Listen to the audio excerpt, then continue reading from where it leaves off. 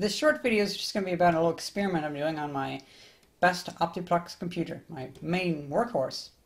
Well, up until now, it could only hold graphics cards like this big, kind of small. The reason I got a smaller case is because, like, in 10 years, when it could fit, like, a, a in, in NVIDIA Titan or something like that into one of these, well, it's going to be an amazing little machine. But for now, I, this is all I can fit in, inside of the machine. But what can we fit outside of the machine? Well, I bought a GeForce GTX 960 for about $210. And I bought a little power supply with it for $40 because this computer can't run the graphics card itself. It is all connected up. It has a ribbon cable connecting it into the PCI Express lane inside of the Optiplex. So, right now I want to test the power supply because I do not have it connected up.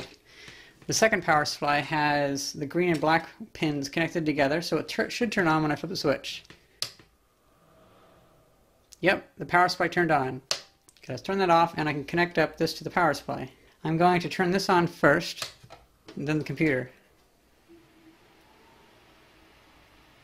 Oh, look at that.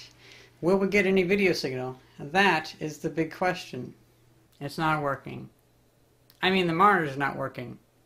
The graphics card's working fine. I forgot that this flea market or this um thrift store find that the the DVI is busted on it. So that's why that's why I only use VGA. I'm an idiot, but it's working better on my NEC, and by better I mean it's working. Look at that. I'll probably replace this monitor with an HDMI monitor sometime, like a 1080p one, because that does not have any VGA outputs. But I don't really need VGA outputs. This thing takes DVI and it's a nice little monitor. And this thing has a lot of issues. has a really it's always like two frames behind the computer, so it's, it's delayed, and the color is all out of whack and stuff, and it's bulky.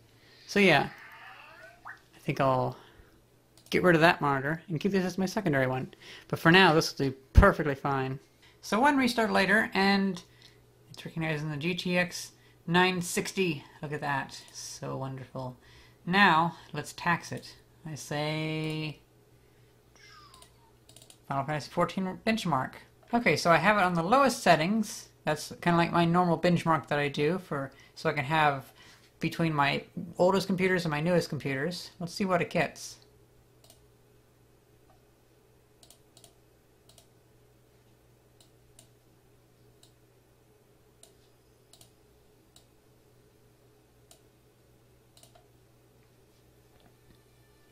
GPU load 9. What? It's already beaten what it was before. Okay then. Well, look at that. Huh. Holy shit.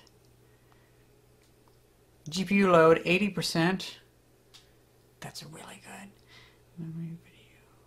GPU temperature 56 degrees Celsius. That's not going up at all. The fans should kick on in a little bit. Fan speed 0%. That might start going up in a little bit when it actually starts. Because right now, 54 degrees Celsius, that's really low. Holy shit. 17,000. Okay, that's like getting close to three times. 80%. Man, this is going to be so good. So, so good. 2%, but I don't see the fans moving yet. Oh, look at that. They're starting to tick a little bit. Oh, there we go.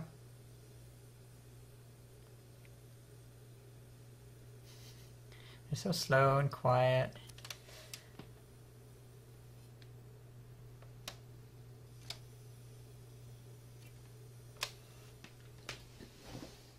Fan speed 7 or 8%.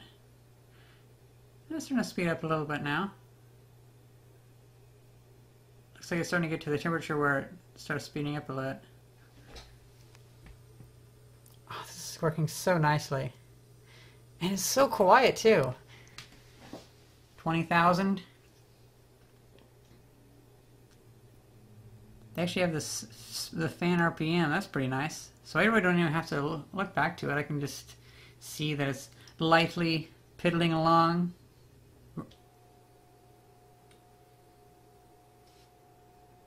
Man, that is just crazy. 26,000. 26,000. Let's see what it does at maximum. But still at 1280 by 720.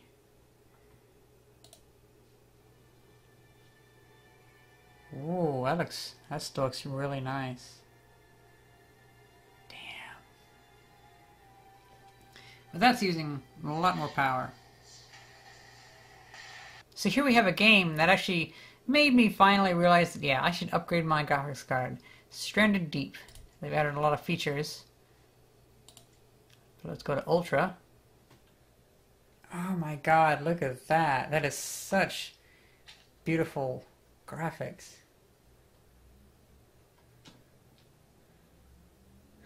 Oh man. I just, I can't believe it. It's just so nice looking.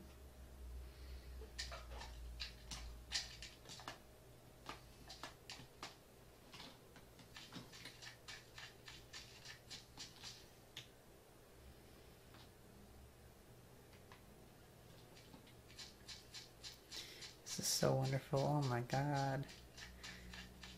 This is on maximum settings too, and the GPU is only at 70% power, so I could even handle games better than this.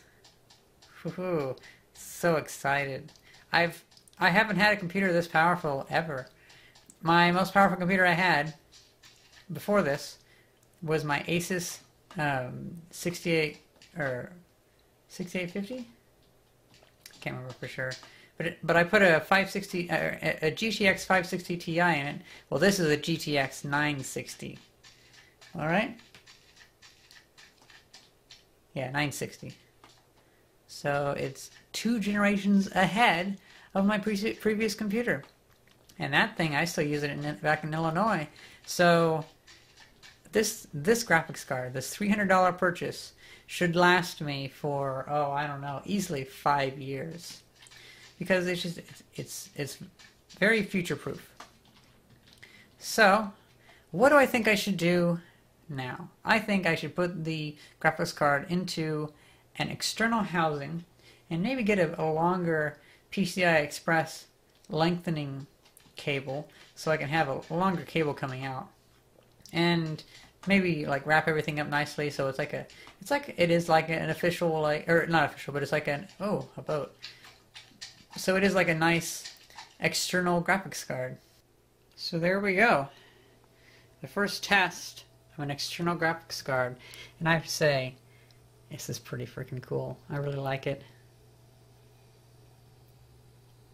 Probably a little bit until I make an actual video about it though. Well, I hope you guys enjoyed this video and thanks for watching. See ya!